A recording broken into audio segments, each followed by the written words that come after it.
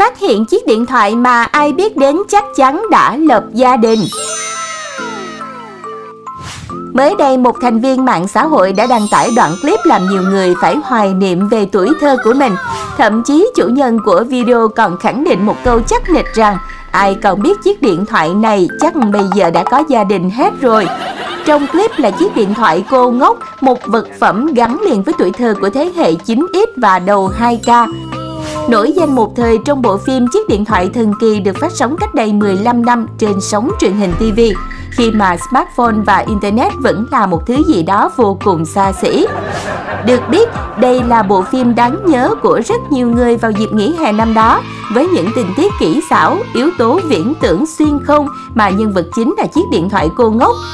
Cũng chính vì thế mà khi cầm nó trên tay, chủ nhân của video này đã khiến nhiều người phải hoài niệm về tuổi thơ của mình và chắc chắn những ai còn nhớ điện thoại cô ngốc thì giờ này đã tay bồng con, ít nhất là đã lập gia đình.